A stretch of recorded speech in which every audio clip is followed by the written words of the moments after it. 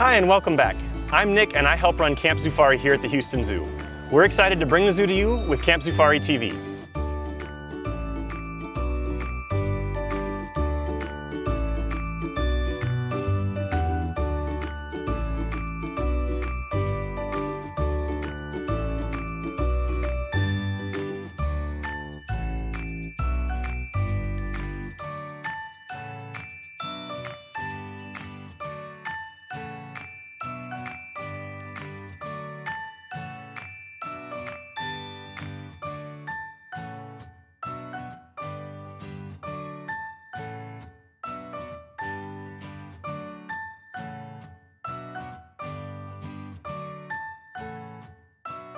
Today, we're going to talk about animal babies and how they're raised in the wild.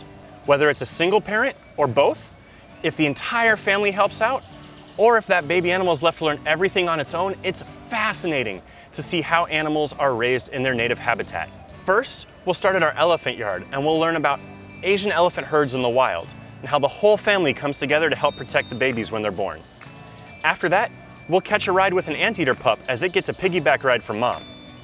Later, We'll learn from the Houston Zoo's animal and veterinary care teams how they helped hand raise a baby monkey who was too weak to hold on to mom. Last, we'll go for a swim and take to the water as we learn about species like the Houston toad and the different parenting styles of each. I don't know about you guys, but I cannot wait to see all these baby animals. Let's go. Extended families like those seen in our elephant herd consist of a group raising their young. This type of family could include moms and helpers like aunts, cousins, sisters, or brothers. Animals that live in extended family groups benefit because they include lots of protection, good role models, and extra playtime because all of the babies live together. With a large family, there's more protection for newborn elephants from predators. The youngsters in the family will always have plenty of role models to emulate, and many times will have several other young elephants their age to play with. Usually there's only one dad, and he is often not directly involved, but might help protect the large family, just like lions do. Elephants travel in herds containing females and babies. There's always a dominant female known as the matriarch that leads the group, but all the females will help the mother to care for and protect the baby. You can see that now with our newest addition, Nelson. This enormous bundle of joy was born on Tuesday, May 12th at 6:30 a.m. to Mom Shanti, and he weighed a whopping 326 pounds. Nelson was born in the McNair Asian Elephant Habitat cow barn under the watchful eyes of his keepers and veterinary staff. This is the sixth calf Shanti, who's also mother to Baylor, Duncan, and Joy, who turns three years old on July 12th.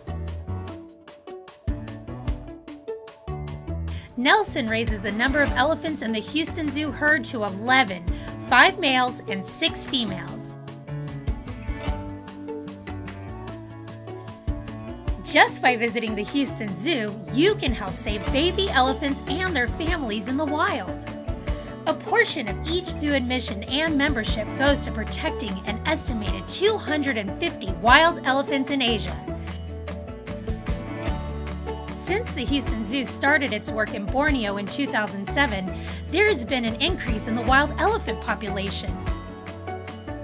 The Houston Zoo provides equipment, training, and support for Dr. Farina Othman and her team who are working hard to protect wild elephant families in Borneo. The Houston Zoo purchases trees for people in Borneo to replant in palm oil plantations. These trees create forested paths for wildlife to use. By visiting and supporting the Houston Zoo, guests are helping the zoo replant more than 300,000 trees in Borneo to save Asian elephants in the wild. Welcome back. Let's check your animal knowledge.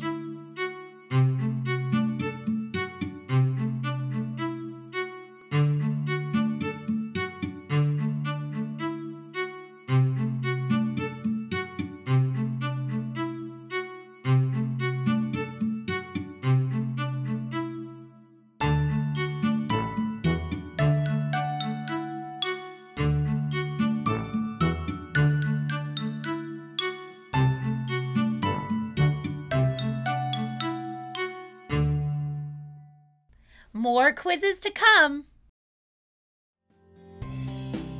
Lots of animals are raised only by their mom. They may never meet their dad. Mother and me families consist of just that the mother and her offspring. This is a typical family structure with solitary animals like bears, most cats, crocodilians, anteaters, armadillos, most marsupials, and some birds. On the evening of March 31st, a baby anteater was born at the Houston Zoo. Baby Tracy can be seen hitching a ride on Mom Olive's back and will continue to do so for nearly a year. Giant anteaters spend the first few weeks of life clinging to their mothers and will typically hitch a ride on mom's back for almost 12 months. Olive has been very attentive to Tracy, carefully nursing and transporting the pup on her back.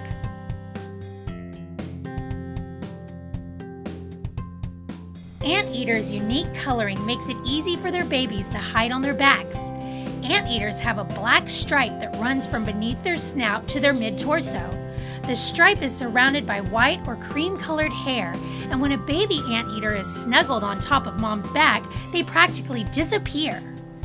While most mammals have baby teeth that eventually fall out and adult teeth grow in, anteaters are special in that they don't have any teeth. They use their long snout and long sticky tongue to slurp their meals by creating a vacuum in their throat, sucking in the insects. Their tongue can measure up to two feet long and use it to eat up to 30,000 ants in a single day. Speaking of dinner, anteaters feast on ants and termites, but never completely destroy an anthill or termite mound. They leave part of the mound intact so that the ants can rebuild and they can feed there again in the future. How clever is that? In the wild, giant anteaters face threats resulting from habitat loss and agricultural expansion. The zoo's anteaters serve as ambassadors for their wild counterparts, helping zoo guests understand this unique species. The Houston Zoo is proud to support the Giant Armadillo Conservation Program, a group working to protect giant armadillos and anteaters in South America. Let's check your animal knowledge.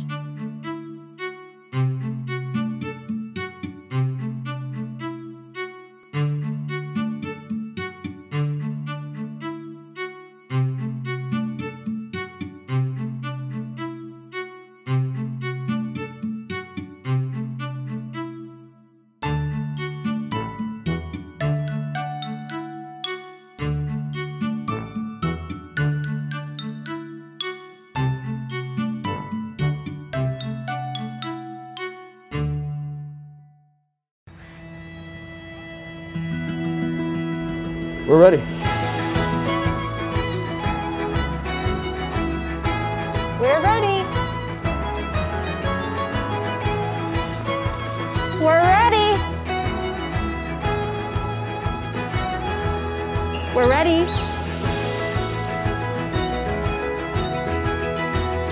We're ready. Are you?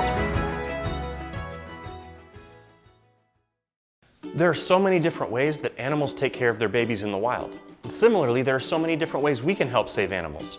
So far this season, we've talked about recycling electronics, creating a sit spot, making wildlife-friendly spaces, and recycling and repurposing materials. Today, I thought it'd be fun if we learned how to help take care of baby animals. So to do that, we've traveled to the carpentry shop, where we're gonna talk with one of our carpenters, Jack, and he's gonna help us build our own birdhouse. Hi everyone, I'm Jack. I work here at the Houston Zoo in the carpentry shop and today we're going to show you how to build a birdhouse. So first of all, the type of wood we're going to use for the birdhouse is cedar and it's a sustainable wood, it's easy to build with and we're going to have about seven parts to this build itself. So first of all, on this right hand side, left for us, right for you, we're going to have our two sides here. So there are multiple ways of cutting these angles. Um, if you have uh, parents at home that are helping you, helping you with this project, you can ask them to use some power tools, which will make the process a lot quicker. With this front piece, I've already pre-drilled both holes. The top hole is an inch and a half in diameter, and this is going to be the access hole for the birdhouse. Underneath, I've actually drilled a one inch hole, and this is going to be for the perch which is going to be made out of round dowel, which we'll stick in that hole and glue it in. So in the middle, we actually have our back piece of our birdhouse, as Nick is kindly showing. And we have the bottom, and last but not least, we have our roof, okay? So moving on, we're gonna start constructing our birdhouse. Do you wanna, do you wanna go ahead and build it, Nick, and I'll talk you through it? Yeah, sounds great. Okay, before you start constructing your birdhouse, of course we want to use our PPE. So we've got our safety goggles here. We're gonna stick those on to keep our eyes safe. Okay, so we have our right hand piece here and what we're gonna do is put this on edge like that. Would you hold that for me, Nick? Yep. And then we're gonna get our front, our face, with the two holes, and we're going to put that on the edge of our side piece. So you wanna keep those really flush, and it does help having two pairs of hands whilst doing this. I'll grab that hammer for you. So if I hold this for you, Nick, mm -hmm. and now you have it aligned, you can go ahead and hammer that first nail in, just like that. Okay, so now we have our front piece fixed to our side. We're gonna grab our other side, put it on edge this way, line the edges up, and we're gonna grab two more nails,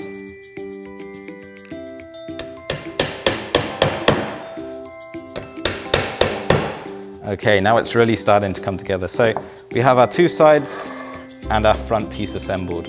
Next up, we're gonna move on to the back piece, which is right here. Okay, and again, you just wanna make sure that the edges are lined up with the side when you nail the back piece on, okay? Okay, so now we have four pieces all together. We have the main structure. We have the front piece for the two holes. We have one side, a back piece, and the other side. Next up, we're gonna do the base of the birdhouse. So we're gonna turn it up onto the angled edge like that, and we're gonna stick that right at the bottom of the two sides, the front and the back. Again, we're going to use four nails to assemble this piece. Okay.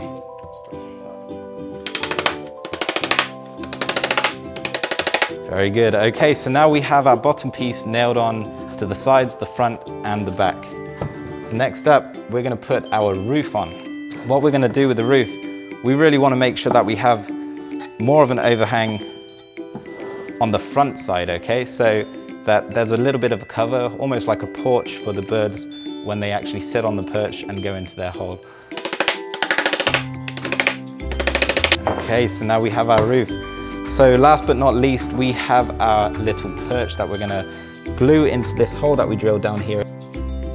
Just gonna go ahead and squirt some glue into the hole. Make sure you get it around the sides as well take that off and then if you just go ahead and put that in, it's going to be a tight fit. There you go. What Nick's doing is he's turning it while he's pushing the, the round dowel into the hole and uh, it's just easing it in. So there we have it. There's our finished birdhouse. Super simple, made from cedar, sustainable wood, and it's gonna help save baby animals in the wild. Now I can set this out at home to help provide a home for those baby birds. Since we're talking about babies, I thought it would also be important to share some information on what you should do if you're out exploring and you come across some baby animals. If you see a baby squirrel or rabbit, the best thing you can do is observe from a distance. If you want to get a closer look, try using the zoom on your camera or a pair of binoculars. And if you watch long enough, you may see mom come back to check on the little ones. Likewise, if you see a baby bird down on the ground, it's okay to pick that bird up and put it back in its nest if you can reach it. It's only a myth that the mom won't take the bird back if it's been touched. If you have a house cat, the best thing you can do if you're letting it go outside is to put a bell on its collar or to only let it go outside when you go out with it. House cats are excellent hunters and fledgling birds make a tasty and easy snack. If you come across an animal and you're unsure if it's injured, the easiest thing to do is to call and ask questions. Texas Parks and Wildlife or your city's animal control are great resources.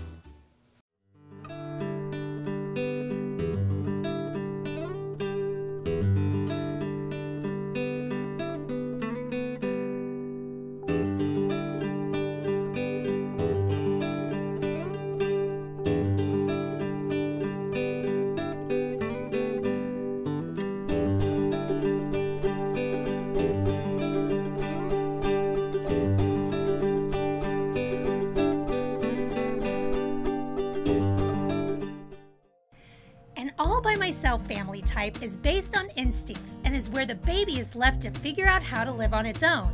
In many cases, these animals never meet their mom or dad.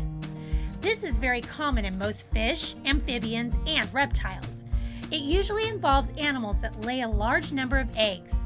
Some species will guard or care for their eggs prior to hatching, but not raise their young. Most animals that do not have their parents around already know how to survive.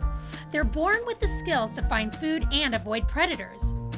They're also born as miniature versions of adults, like baby lizards. They're hatched from eggs and can immediately run to shelter and begin finding food. Another great example is baby sea turtles. Once they're born on a beach, they know how to swim out to sea and can swim as soon as they reach the water. Houston toads are hatched from eggs and grow up to be tadpoles, then tiny toads. They have to fend for themselves immediately after they're born. The Houston toad, such an amazing animal. These guys were once found in lots of counties along the Texas Gulf Coast. Today, they are mostly found in central Texas, in the areas of Bastrop County, with a few populations in Austin County and Colorado and Leon counties as well. The Houston Zoo has a breeding facility for this endangered animal to help increase Houston toad populations in the wild. In 2018, the zoo and its wildlife partners released nearly 1 million Houston toad eggs into Bastrop State Park. The hope is that a majority of those toad eggs will grow to be tadpoles and eventually adult toads to then produce baby toads on their own in the wild.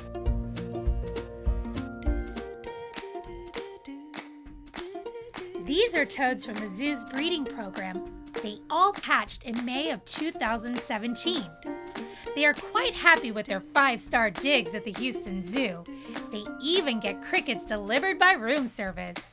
But in the wild, they prefer a sandy soil and pine forest, like those found in Bastrop State Park. You can help save Houston toads in the wild. You and your family can visit the Houston Zoo and Bastrop State Park, where a portion of the entrance fee goes towards conservation efforts and habitat recovery for these totally awesome animals.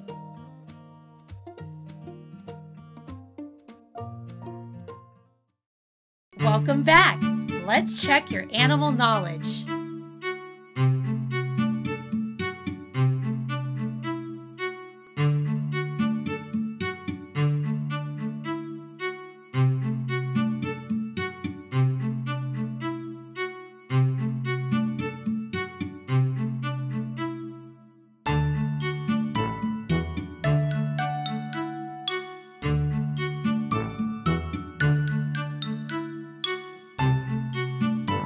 Keep watching for more quizzes.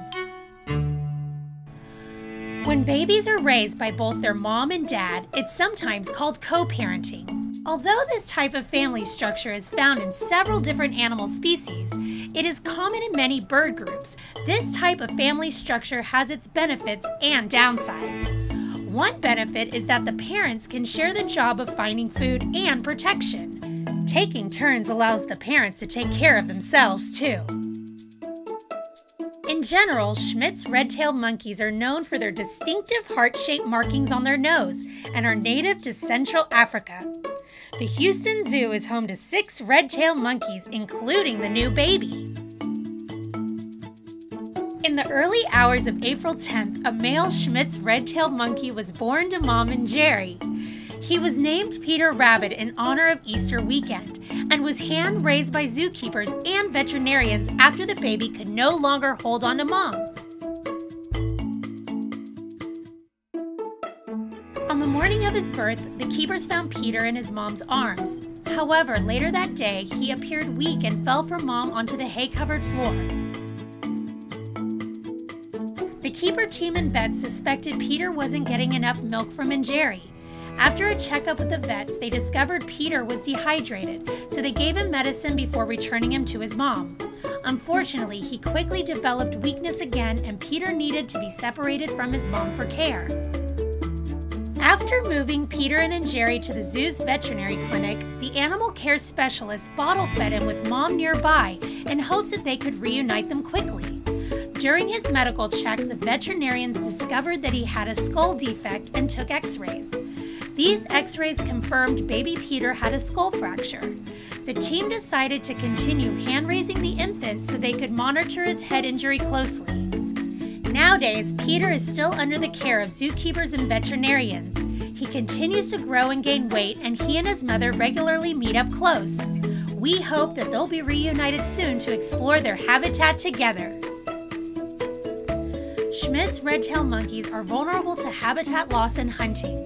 To help save them in the wild, Houstonians can recycle old cell phones and handheld electronics. Cell phones and other small electronics often contain coltan, a material mined in the parts of Africa that red-tailed monkeys rely on for habitats. Time for another quiz.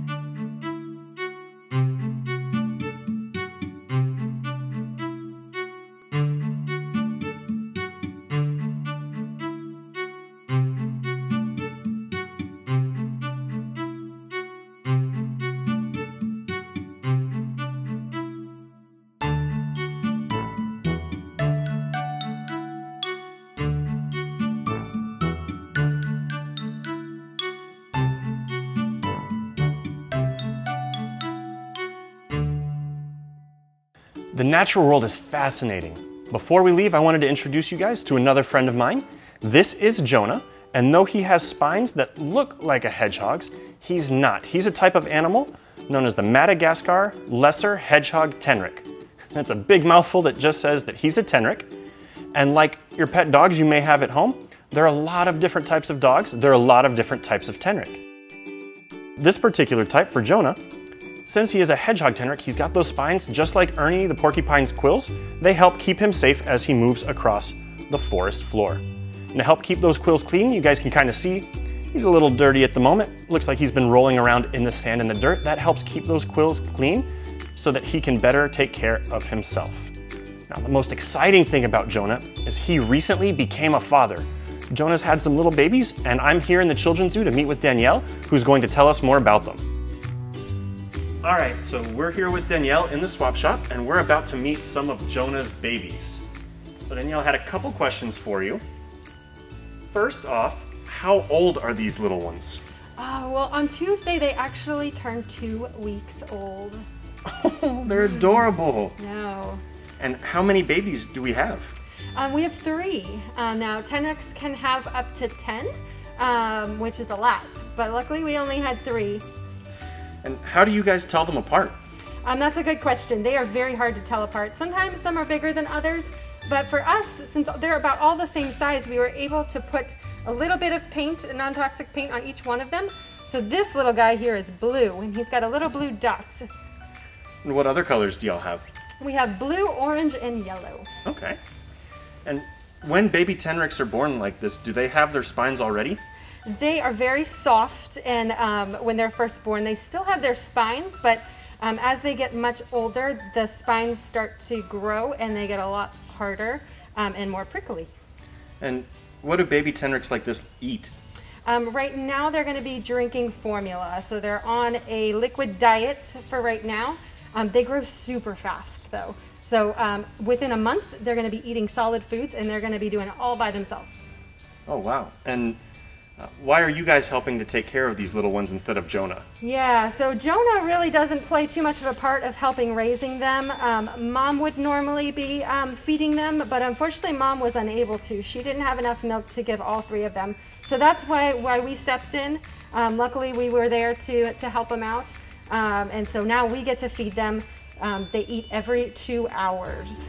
Oh wow, so even at night? Even at night, around the clock care for these guys. Um, we recently just got to go to every three hours, um, which was big for them. Uh, but yeah, at first, for the first week, they were eating every two hours, 24 hours a day.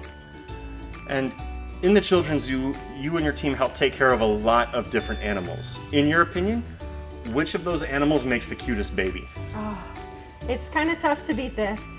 But I think I would have to say my other little prickly friend, um, Ernie, was a very, very cute baby, and he is our North American porcupine. Awesome. Well, thank you so much for your time, and thank you, Blue, um, for joining us. You guys have a great day. Thank you. Hope you guys had fun this week. Join us next time as we bring the zoo to you. Bye.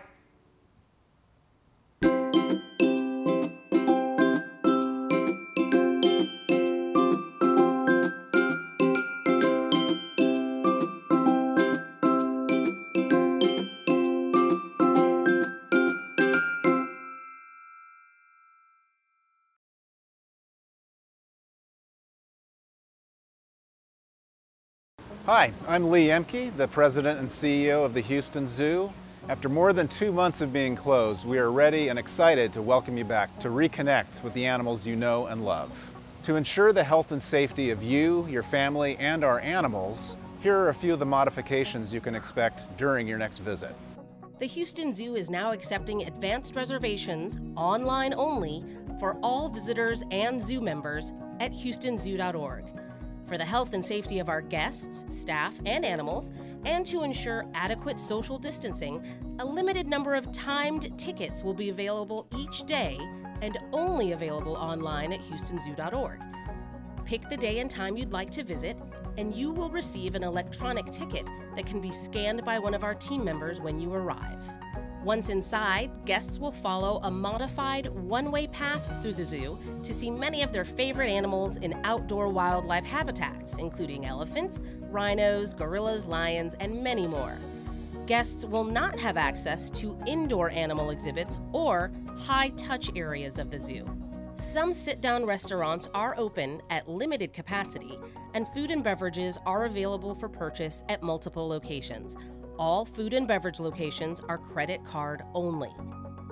All zoo staff are required to wear masks while working, and in accordance with new Harris County orders, all guests 10 years and older are required to wear masks.